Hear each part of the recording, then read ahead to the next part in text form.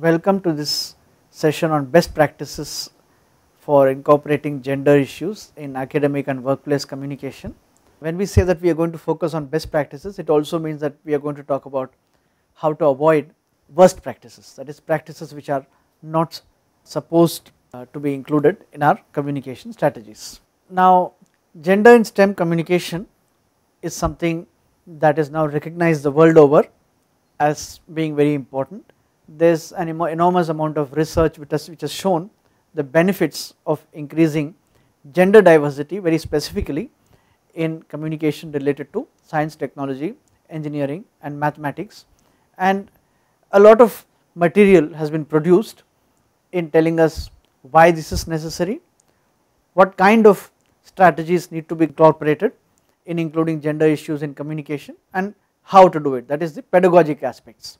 We need to first prepare ourselves in dealing with these issues by making oneself aware of gender diversity issues in communication because it is possible that one may without much thinking or blindly adopt these strategies for incorporating gender issues, but our communication practice will be much more effective if we are ourselves that is you yourself are aware of the existing biases and stereotypes and how you yourself may be unconsciously carrying forward these biases in your communication. So the first step here in making ourselves aware that is in preparing ourselves is to understand the difference between gender sensitive or gender fair, number 2 gender neutral and number 3 gender aware. So gender sensitive is to understand that there are differences between men, women and third gender, that there are discriminations and inequalities between people of different genders in society and therefore since human beings consist of all the genders, how do we ensure that we are sensitive in addressing all of them in our communication. Gender neutral refers to the fact that very often we may not need to refer to the gender of human beings in our communication. So when we are dealing with human subjects in our research or in our communication or we need to bring in human beings some way in talking about our research or in teaching in the classroom, it is not always necessary to bring in gender issues. In such cases we need to know how to be neutral to gender issues so that we are not unconsciously referring to one gender that is exclusively men when human beings constitute different genders. Thirdly, gender aware refers to the fact that because men and women may be different, because there is inequality between men and women or girls and boys, some of our strategies in communication need to explicitly acknowledge this difference. So the example of the book that is presented on this slide tells us that we need to be gender aware in post disaster needs assessment and similar kinds of gender awareness is required in technology development, technology assessments and so on. That is if we know that men's and women's needs or girls and boys needs are different then our needs assessment, our technology development strategies, our assessment of technologies, our communication of uh, technology needs all these can be enhanced so that we address the specific needs of men and women, boys and girls separately and our own research strategies, our research impact is much larger. When we are saying that we need to be gender sensitive, aware and neutral in our language, we are saying that each of you need to be aware of the words you use, the words you choose, what are their meanings and what are their communication effects which can be diverse for men and women, for boys and girls. Take for example this first sentence. We are referring to Marie Curie who is one of the few to have won a Nobel Prize in two different sciences. Hence it is possible to say that Marie Curie is a great woman scientist. But why bring in gender at all to refer to Marie Curie when we are talking about her research accomplishments.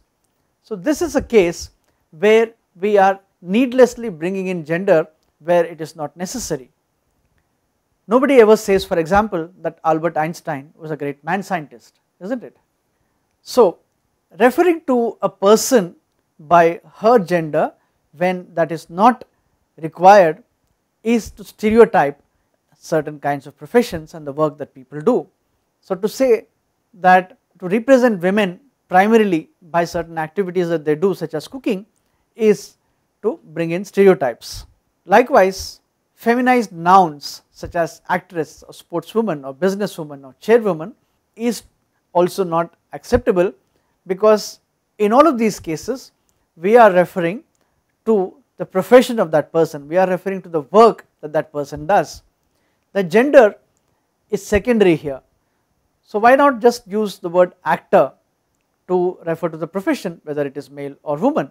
Why not just use the term actor to refer to the profession of a person whether it is male or female. Likewise one could use terms like business person or chairperson or sports person because in all such cases our primary objective is not to refer to the gender of a person but it is to refer to the profession or activity that a person is involved in.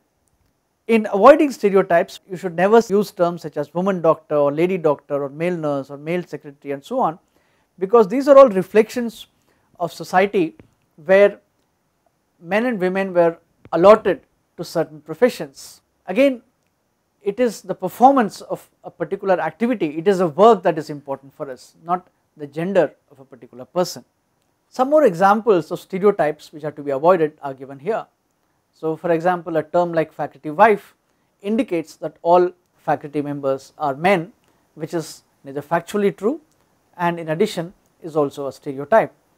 So there are words available such as spouses which are inclusive and which uh, accept the fact that faculty members or people in any profession can be both men and women.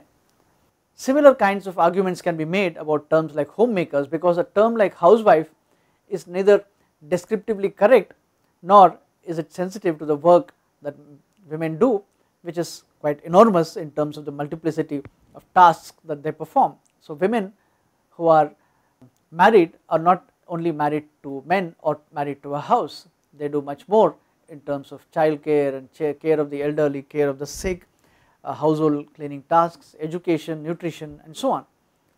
This is in fact reflected in a controversy that took place in a journal called the IEEE Spectrum where somebody who wrote an article about a microprocessor, the article was titled with Arduino now even your mom can program. So this title appeared to be sexist and caused offense to many mothers because it assumes that mothers are basically uh, people without many skills. So in an age where women are professionally as advanced and equal as men, such kinds of terminologies are to be avoided so that they do not appear to be sexist and they do not put off or offend people who have accomplished so much in their lives despite several constraints. Generally we should avoid sexist pronouns or sexist nouns which is basically exclusive use of gender specific nouns and pronouns such as man, men, mankind, he, him and so on.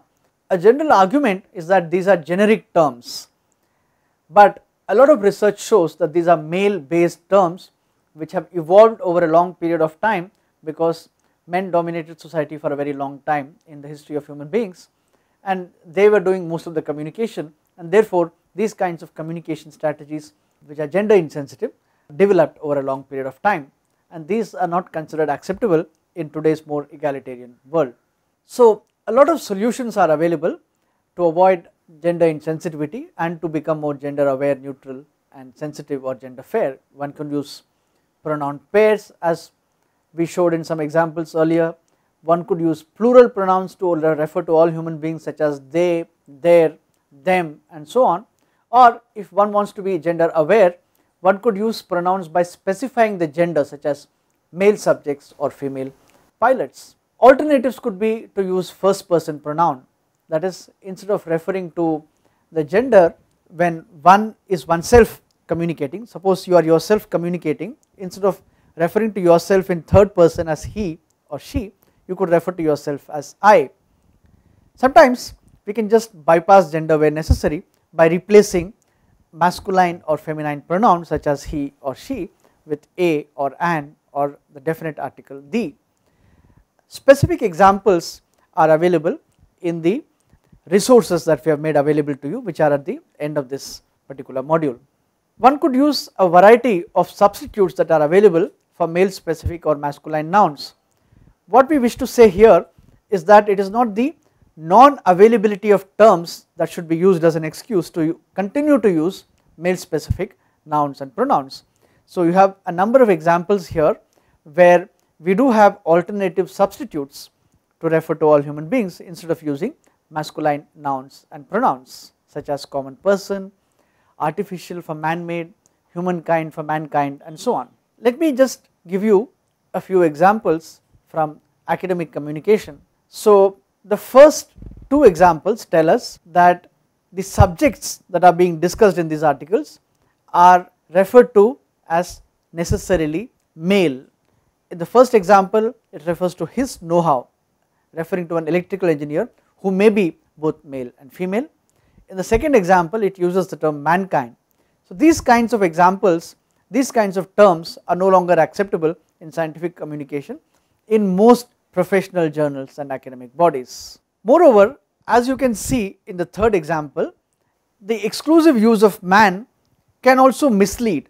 So suppose we are interested as professionals, as medical professionals for example, in reading a particular article, but from the title alone we do not know whether the subjects in this article were both men and women and if I as a researcher am interested in female subjects, I will just avoid this article despite the fact that this article can be both about men and women. So in terms of what I have mentioned earlier about the need for clarity in communication, this kind of an exclusive use of masculine nouns is simply unacceptable because it is ambiguous, it lacks clarity in scientific communication. These are further examples of how to avoid gender insensitivity in communication and these are as you can see from older articles and most journals now do not accept these kind of male specific terms such as man machine, man survival, yeast and man and so on.